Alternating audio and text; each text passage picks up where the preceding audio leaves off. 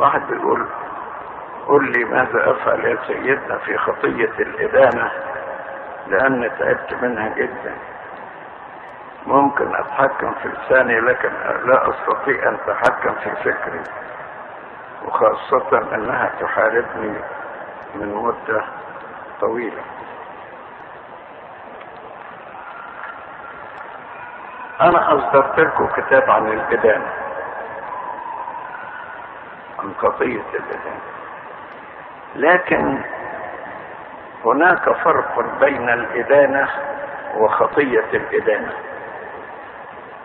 يعني إيه؟ يعني من حق المسؤول أن يدين من تحت مسؤوليته.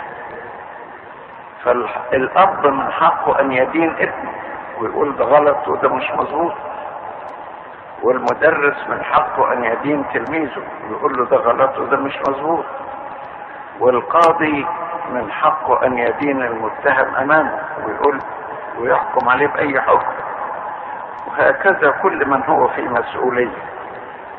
فدي إدانة لكن لها ليست خطيه إدانة لأنها صادرة من مسؤول ومن حقه.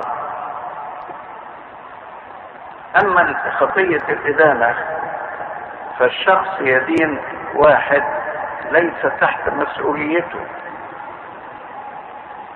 ويدخل نفسه فيما لا حق له فيه.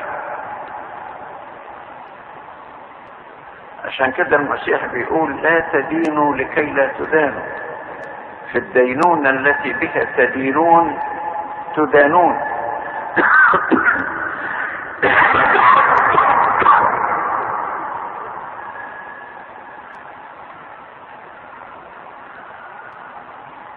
فالعجيب أن بعض الناس بدلا من أن يحكموا على أنفسهم يتفرغون للحكم على غيرهم. يعني أنت لو فكرت حتى بفكرك أن فلان غلطان هو أنت مسؤول عنه أمام ربنا. ثم إيه اللي عرفك؟ نوع خطيته ومقدار خطيته. ده القديس يوحنا القصير مرة. شاف انسان خاطي فبكى فقالوا له بتبكي ليه قال لهم الشيطان أهوى أخي هذا واسقطه وجايز يغويني أنا بكرة ويسقطني وجايز أخويا ده يتوب وأنا ما توبش. والقديس الانبا موسى الأسود لقوه داخل مرة. مجمع الرهبان وشايل زكيبة مليانة رمل ورا ظهره فيها خرج بينزل الرمل. فقالوا له إيه ده؟ قال لهم هذه خطاياي وراء ظهري تجري وأنا جئت لكي أدين أخي. كان مجتمعين لإدانة واحد يعني. ولكن القديس باسيليوس الكبير بيقول لو إن المسؤولين في دير جلسوا في فحص إدارة الدير وأدانوا أحد دي مسؤوليتهم ما تعتبرش إدانة.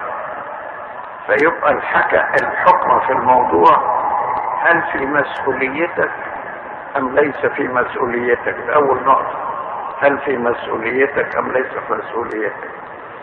ثاني نقطة بأي روح أنت بتدين؟ بروح الحب ولا بروح الكراهية أو البغض أو الحقد؟ بأي روح؟ لو أنك أنت عندك روح الحب ووجدت أخاك يخطئ بدل ما تدين نقول يا رب كن معاه. وما تسمحش ان هو يغلط أو إن أنا أغلط. دي تاني مقياس. يبقى أول مقياس سلطانك ولا لا؟ تاني مقياس روح الحب ولا الحقد؟ تالت مقياس نوع المعرفة. يعني إيه نوع المعرفة؟ يعني ربما الحاجة اللي انت بتدين عليها ما تكونش ما تكونش ادانتك فيها صح. ويكون اللي بيدينه هو الصح في تصرفه لكن انت اللي غلطان.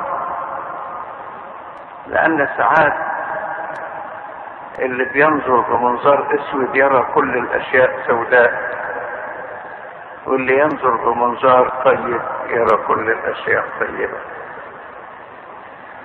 بيقول ولكن لا أستطيع أن أتحكم في فكري لازم تتحكم في فكرك وممكن إنك أنت لو جالك فكر إذا أنا أقول أنا أيضا خاطئ. قول لنفسك العبارة دي أنا أيضا خاطئ. ولو كنت أنا بهذه القسوة أحكم على الخطاة ربنا هيحاسبني بنفس القسوة وأزيد. لأن قال كده. بالمكيال الذي به تكيلون يكال لكم ويزاد. فخليك حنين على الناس علشان ربنا يبقى حنين عليك. وإن وجدت واحد وشعرت إنه بيخطئ حاول إنك تعذره. لا تعذر نفسك لكن اعذر الناس.